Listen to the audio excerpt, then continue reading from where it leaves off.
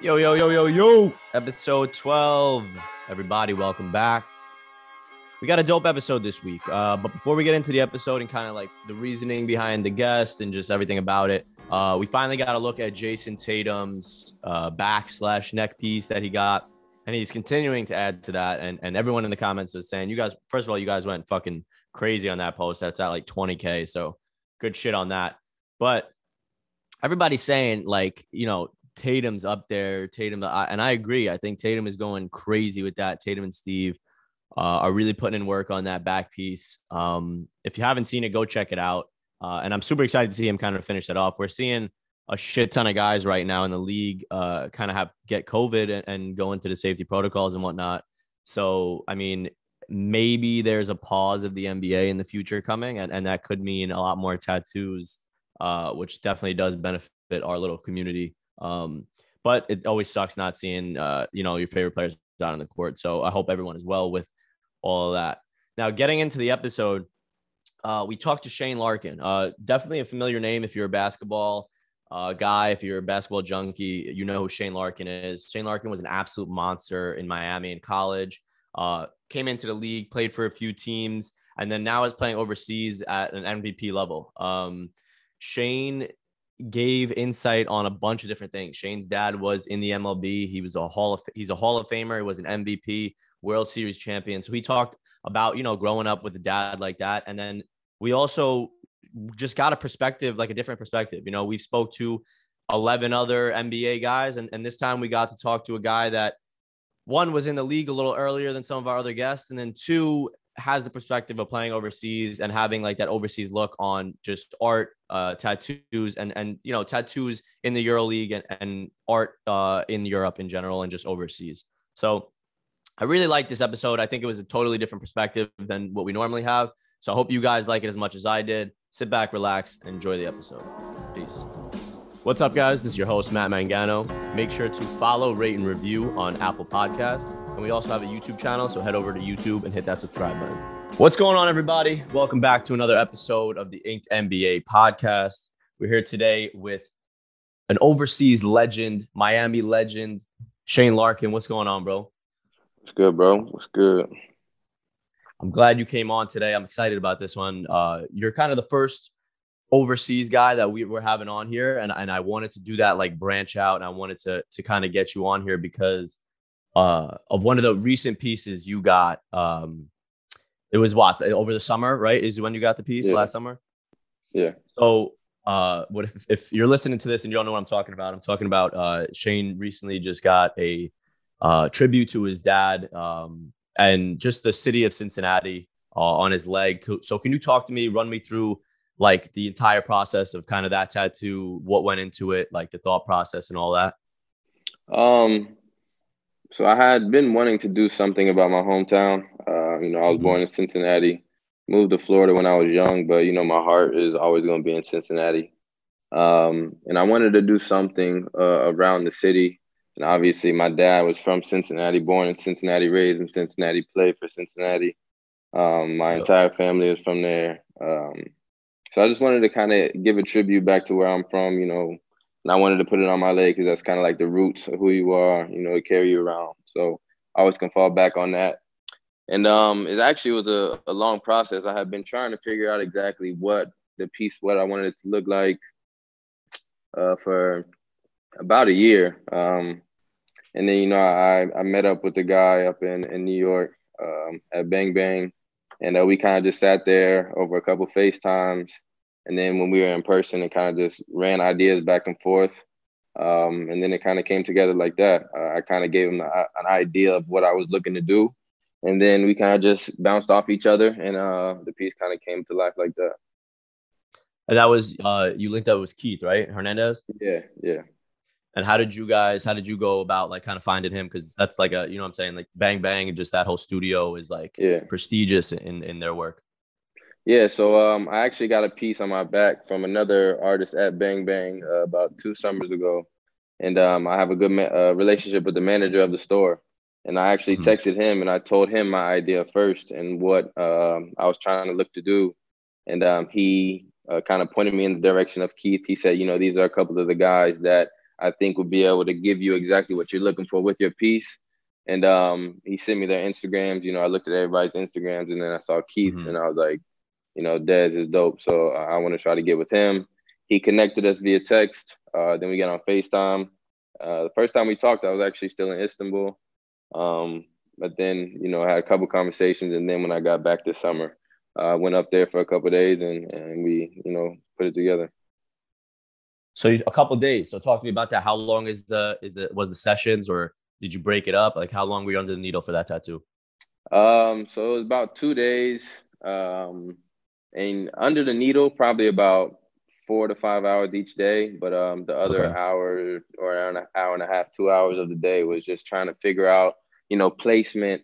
Um, because mm-hmm. you know it was a, a, spot on your leg where he wanted everything to kind of flow the right way. Uh, so we are trying to figure out placement, the size of things, what we we what we needed to get to you know fill up some of the empty spots. Um, so um, each day probably was probably you know between six to eight hours all together. So two days, uh, about six to eight hours each day. Okay, that's dope. And how did what was your your kind of dad's reaction? I feel like that's got to be super like dope and like surreal for him. You know, your son goes out and gets a tattoo of, of you on him. How did how did he feel about it? Uh, I mean, he was shocked at first. Um, I didn't tell him about it. I didn't tell my parents. And then I, I went to that uh, penthouse in Miami, and I just kind of pulled up with the tattoo, and then he was just mm-hmm. speechless mm-hmm. for about you know a minute and a half. He was he was teary eyed a little bit. Um, yeah, yeah. You know, so it was a good moment. Um, you know, he's done a lot for me, for my life, for my family. You know, he, you know, didn't grow up the way that I did, and you know that's because of him. So, um, you know, he's come a long way, and I'm really proud of him. And you know, you see all these guys getting, not all of them, but a lot of guys get some of their heroes uh, tatted on them. Like recently, a lot of guys getting Muhammad Ali.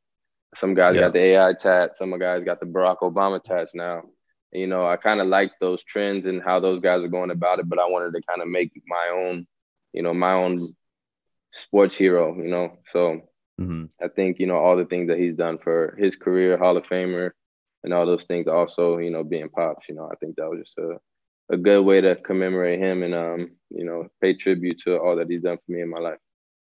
For sure. And um, when was so growing up, like you're saying, you you grew up with with a dad in the uh, in the in the MLB, you know, top star, uh, Hall of Famer, like you said. When when for you, when you were like a kid, when were you kind of like like oh shit, my dad's like famous, like like like my dad's in the MLB. Uh, it was probably around five six years old um, when I I was able to go to the ballpark with him, you know, before games, mm-hmm. after games, and then when we be leaving the ballpark after the games, you know, just driving out, you think you're just with your dad, and then there's you know hundreds of fans banging on the car, trying to yeah, get yeah. photos and autographs and all these things, and that's when I started to understand that he was somebody. I didn't know mm-hmm. how great he was or what kind of caliber he was. I just knew he was dad. But when I started seeing all these things happening, I kind of started to put together that he was somebody special. Um, he must have been really good at what he did. Um, so it was about probably five or six when I started to realize you know how good he was at what he was doing. And so, is there any is there any tattoo like influence from being around like those guys, like just you know ball players, like guys that were kind of during that time starting to play around with getting tattoos and bringing that into like the the spotlight of of sports? Like, did you get any influence or or like see a guy with tattoos when you were at the clubhouse and be like, oh, like that's kind of dope. What is that? Um, not necessarily because baseball is different. You know, uh, I mean, now there's some baseball guys that are getting you know sleeved up and getting a lot of tattoos, but back then, um, you know, I don't know if anybody on my dad's team had uh tattoos that I looked at and I was like, yo, that's really cool. I, would like to do that one day. I can't actually think of anybody who had had, had those kind of tattoos. So, uh, I mean, around then, I wouldn't say anybody from his team directly influenced mm-hmm. me, but you know, I was always a, a, football guy and a basketball guy. So, you know, I saw all of the tattoos in, in that kind of world. Um, and that's what kind of inspired me to, you know, put, you know, tattoos on my body that mean things and, you know, resonate with what makes me who I am. And, um, mm-hmm. you know, that's kind of kind of where I drew my influence from. And is there any particular influence, like any, any, you said football, basketball, any uh, specific player or like artists, music industry, anything like that? Uh, I wouldn't say artists in the in the music industry. I would say more it's just basketball guys. You know, my my guy was AI. That had mm-hmm. always been my guy. I had the cornrows, the braids, the armbands, yeah, the yeah. shoes. You know, I had all of it. So you know, his tattoos. You know, he had a bunch of tattoos. He didn't. I mean, he was kind of sleeved up. You know, but he had like a bunch of kind of just tattoos all over. Yeah, yeah, yeah. Little, little pieces all over. And um, I always thought that was really cool. And um, you know, that was my guy always. So that's probably the guy who influenced me the most to, you know, if I was able to do this basketball thing the one the way I wanted to be able to do it, um, I was definitely gonna try to, you know, get some tattoos to, you know, be that way. So what was uh what was the first when was the first time that you you got tatted? How old were you? Uh and like run me through that whole story. What what happened with that? Uh so I was I think I was 16, 16 turning 17. And um my sister is a really creative girl, uh, and I had been telling her to to draw me a tattoo, to like mm-hmm. just get a piece of paper and draw me a tattoo. And I kind of told her exactly what I was looking for. And then I kind of got my mom into it. I asked her if she would like it. Like, is it okay if I get a tattoo? And she was like, hell no, you can't get no tattoo. but uh, I, I ran it past my dad and he was like, I mean, if you want to get get a tattoo, sure, you know, get a tattoo. And um, yeah. so I asked my sister to, to draw up this piece and, uh, and then she drew up this piece. And um, you know, one day she brought it to me, and I was like, "Oh, this is super cool. This is dope." And I actually brought it to my dad, and I was like, "Yo, I want to get this tatted." And he was like, mm-hmm. "You do?" And was, I was like, "Yeah, I want to get it tatted." He's like, "All right, let's go." I was like, "What you mean?" All right, let's go. And so we got in the car, went to some random random tattoo artist in Orlando, and um, I gave him a piece of paper, and he was like, "All right, that's what you want." Yeah, he put it right on my arm the same way my sister drew it. Um, so, you know, I wouldn't say it's my most quality piece. Uh, it was my first piece when I was young, but you know, I would mm. say that one probably means. I mean, now probably second most to me because it's actually my sister's artwork that I put on my body. Um, so you know that, that, that's obviously something that's that's close to my heart. So um, that's really how it came together. It was just bang, bang, bang. I, I kind of thought he was yeah. joking at first, but he was serious, and no, I wasn't gonna say no after that. So what was what was your mom's reaction then? You you went, uh, you know, after she said no. Yeah, she wasn't too happy when I got back to the house, um, but I mean, she she's grown to you know uh, appreciate the art of it. At first, she was just like, "Don't mark your body up and you know look like yep. a look like you out here crazy." I was like, "Nah, I mean." I got it for this reason. My sister drew it, blah blah blah. So she was okay with it. Uh, and then mm-hmm. you know, once I started coming home with more and more, she was just like, you know, I, I, have to appreciate what it what it's for, and you know, the meaning behind it, as opposed to, you know, all the negative things that people say about them. So she's yeah. cool with it now. I think I think like like you're saying uh with like even the mom perspective because I feel like everyone kind of goes through that uh whether it's a mom dad just having a parent that's kind of like against it at first uh, and then is able to adapt to it. I think we're seeing that just overall in like the culture yeah. as well, where people are just kind of being like, like, all right, like you know, it's not eh, because you're a thug, it's not because you're this right. or that, it's because you're you're right. kind of expressing yourself. So right. that's super dope that that's happening.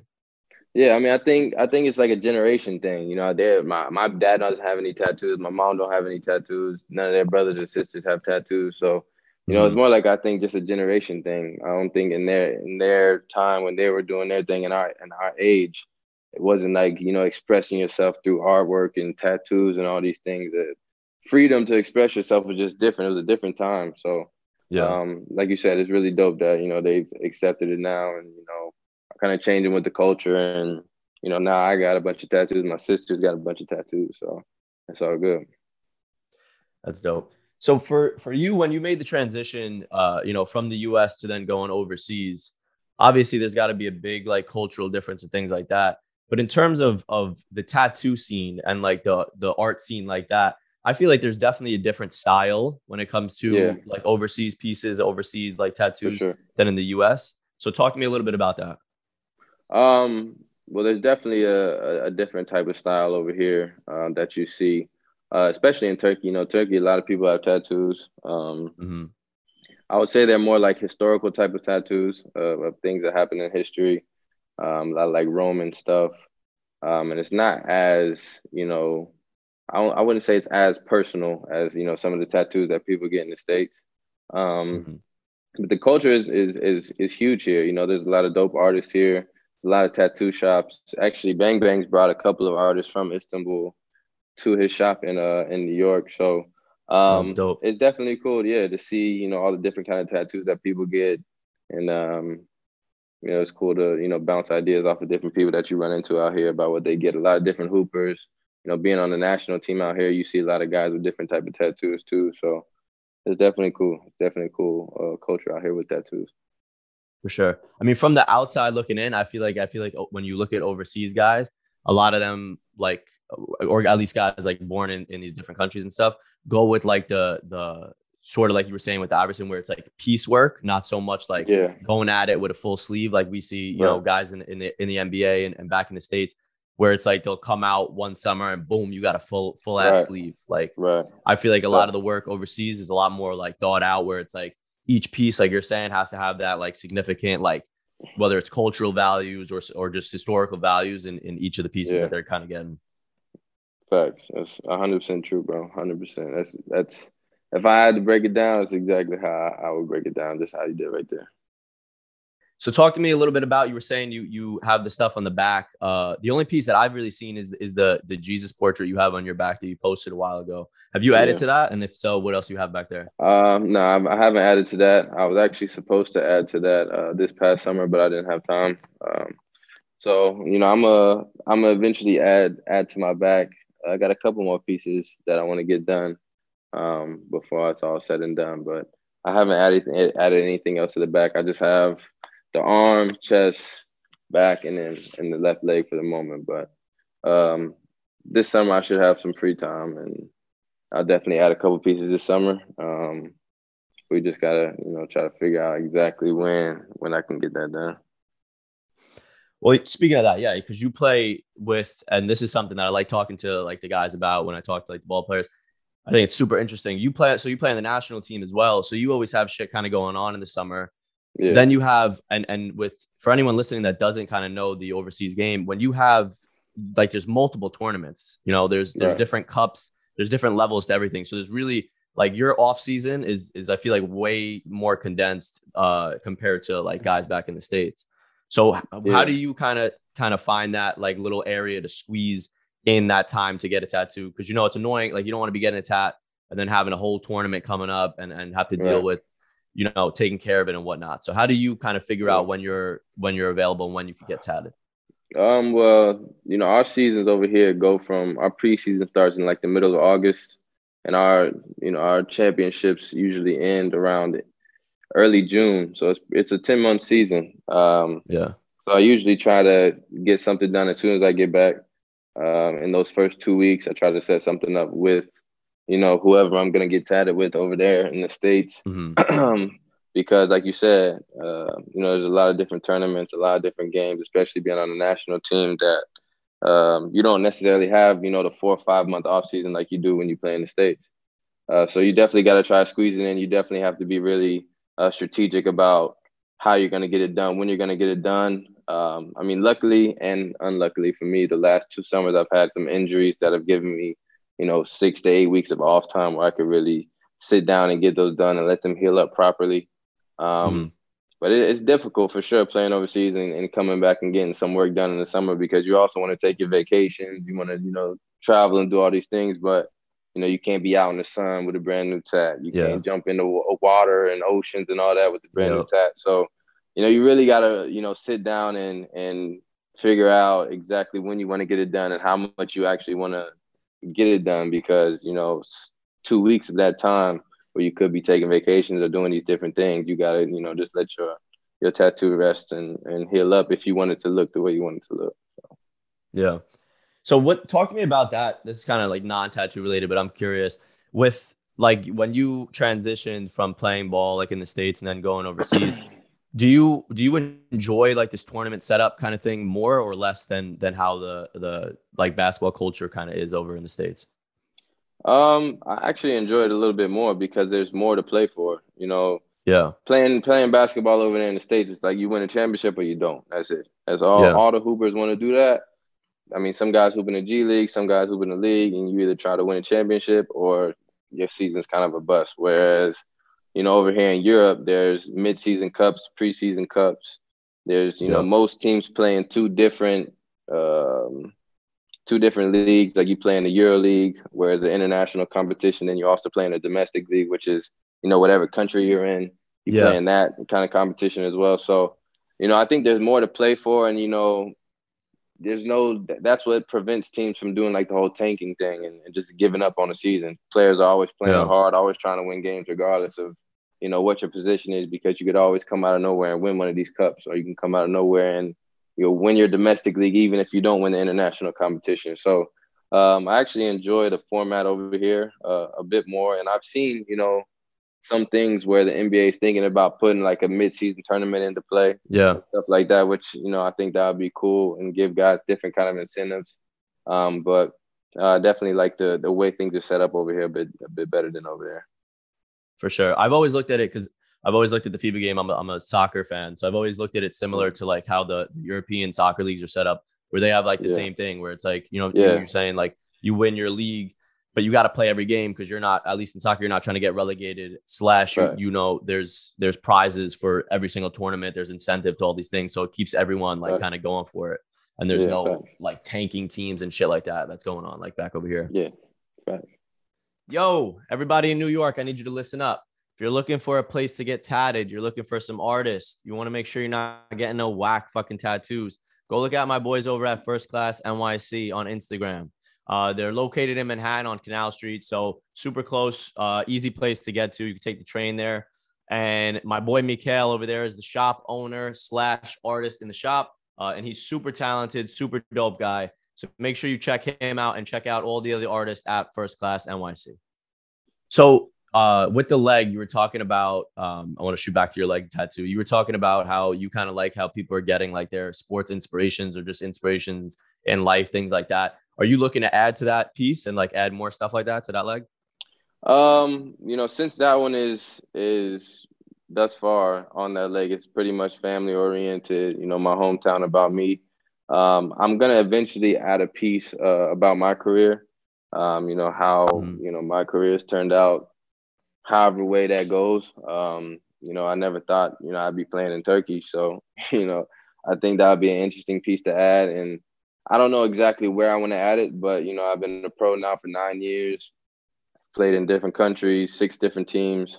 So, um, you know, and I don't know exactly where I'm going to end up next. So mm-hmm. I definitely want to add to it. I don't know if I want to add it to my leg um, because it's kind of like, you know, it's it's difficult to be honest because it's kind of like you know the beginning of my my family's legacy. You know, my dad was the first one that became a you know sports icon won mm-hmm. championships, MVPs, and all these different kind of things. And you know, I've done it in my own way in a different part of the world, and I think that is, you know, also could be a cool feature to just have this whole leg be dedicated to that kind of stuff. Um, yeah, I think that would be dope. So yeah, so I, I I've, I've had ideas about that, uh, you know, but you know, I don't, I'm not ever going to be one that's going to rush something. So, you know, I got to kind of see exactly how I feel. I got to talk to whoever artists um, mm-hmm. that I want to try to work with and kind of try to put that idea together so that it all flows correctly. Um, but I think you know, eventually I'll definitely add something down there. Um, but for the moment, I don't think um, I know exactly what that is yet. But definitely moving moving forward, I'll definitely add to that to that leg piece and probably go up to about mid thigh all the way around and, and have the whole leg done. Yeah. Well, I think, uh, like you're saying, I think that's why you see that your work is like quality, especially that leg piece, is just because you talk about like the time it takes and, and how it took you like the year to kind of wait and, and figure yeah. out all the ideas, make sure it blends and whatnot.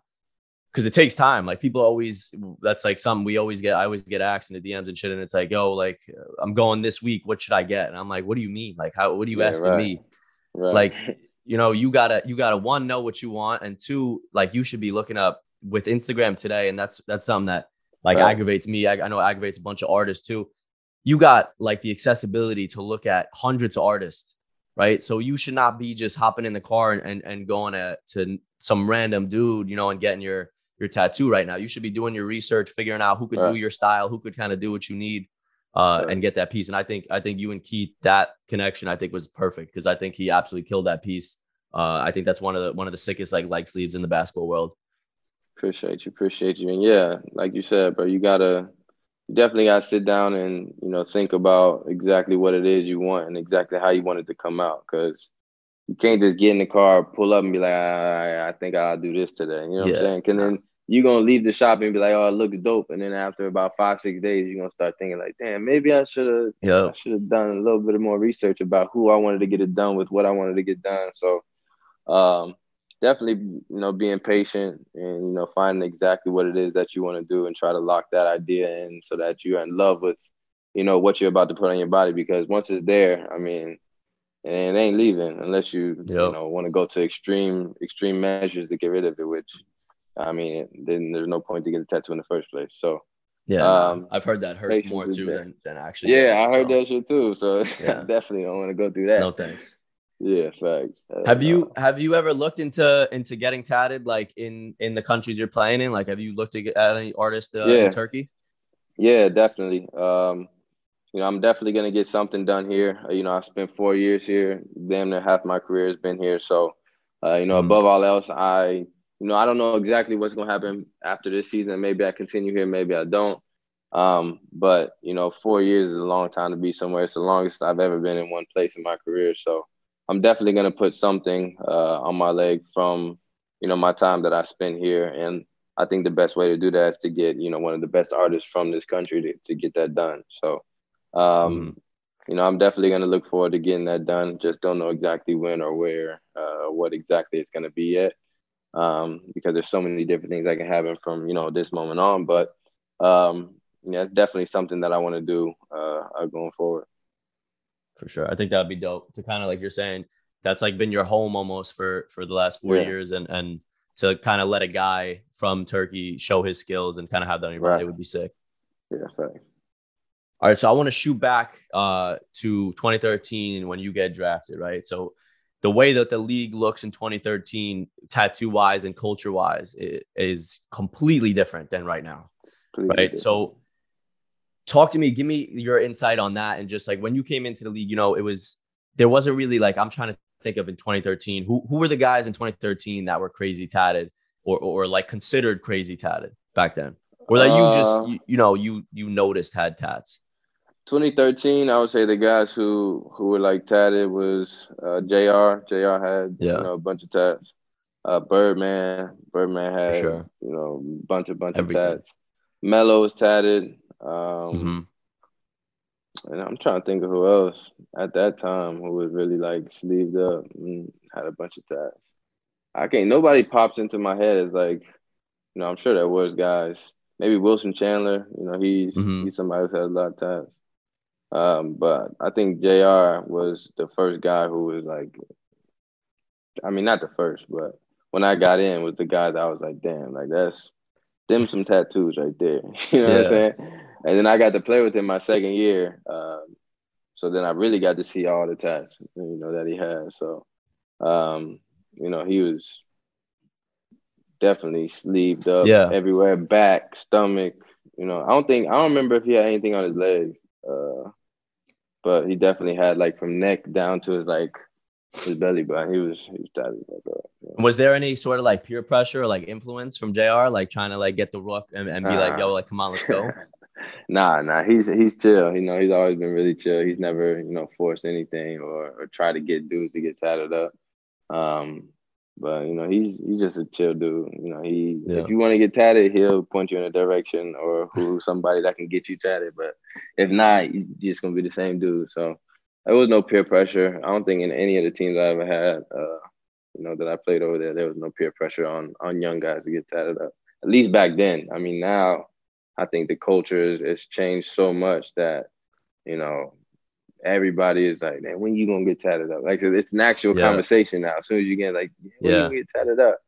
You know, it's funny because I remember uh my last year in the league, I think it was like 17, 18, 18, 19.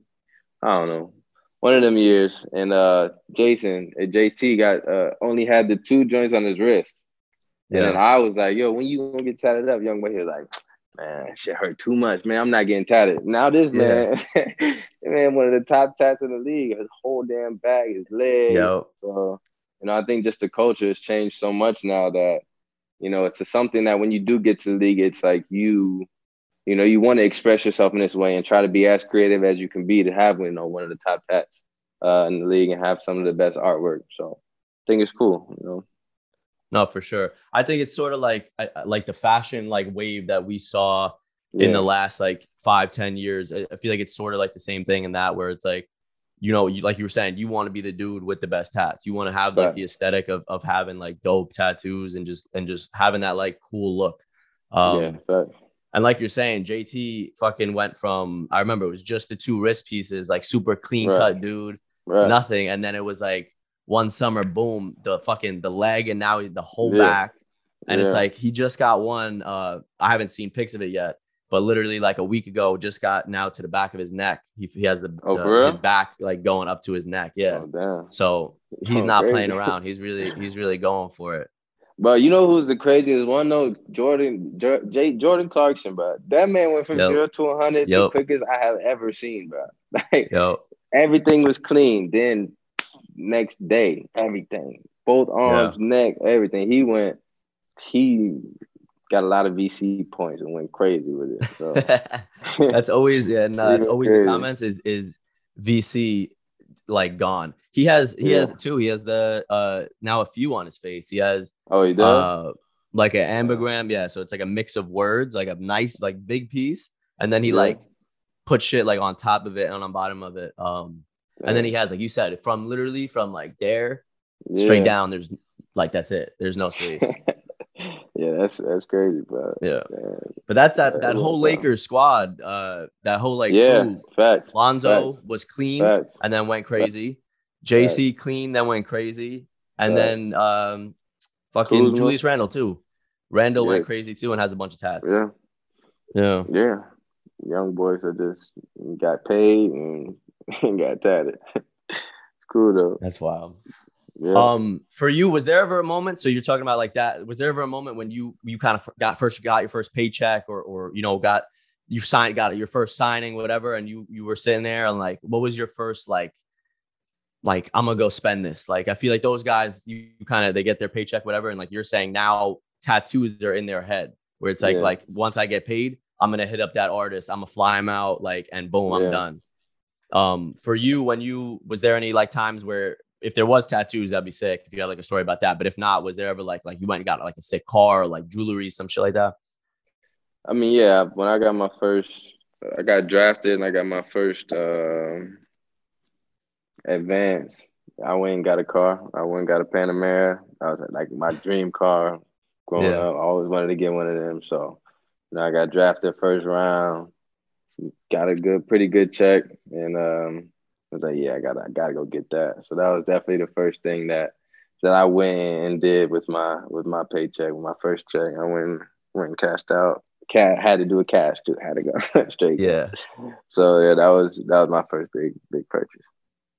That's fire. All right. So to like wrap up here, I want to ask you a question that we we kind of ask everybody.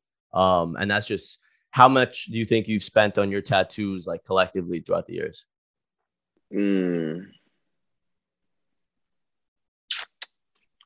Uh, I would say about probably spent about twenty five thousand at this point on tattoos.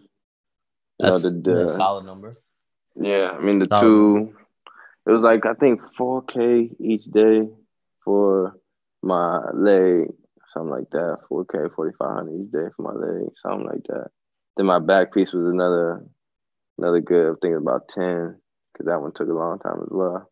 And then the other ones was a couple thousand. So, uh, yeah, probably around 20, 20, 25,000 on, on that. But, uh, I would say it's it's definitely worth it. I mean, it's definitely my first piece.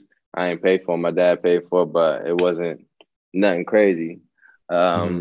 But I would definitely say to you know spend a good amount on it because it's gonna be there forever, and you don't want to look at something and be like, "Damn, I should have just spent a little more on that," so it looked the way that I wanted to look. So, um, yeah, it's about about 20, 25. All right, yeah, that's that's like you're saying. I, I think that's a very respectable like number, especially. I mean, you like you were saying, you're not like a guy that's covered covered. You have like your pieces, yeah. but I think like you're saying, you gotta. A lot of people don't realize that like it, it, it takes money. Like Yeah. I have like I'm saying I don't have I have right like three, these these couple pieces and for me I'm like 3k in already on on like tiny shit. So it's like right. you start going and you start going to like these certain artists start getting these crazy pieces, these bigger pieces. It's like you're going to be spending money if you want to keep that like good artwork and have the quality product.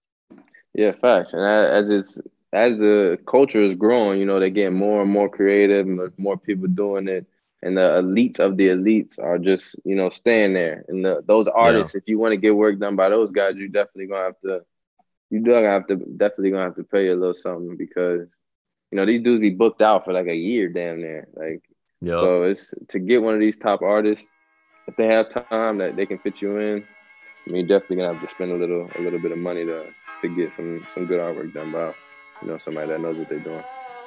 For sure. All right, man. That's that's all I got for for today. All I need from you. Uh, I appreciate you coming on, bro. Appreciate you spending a little time with us.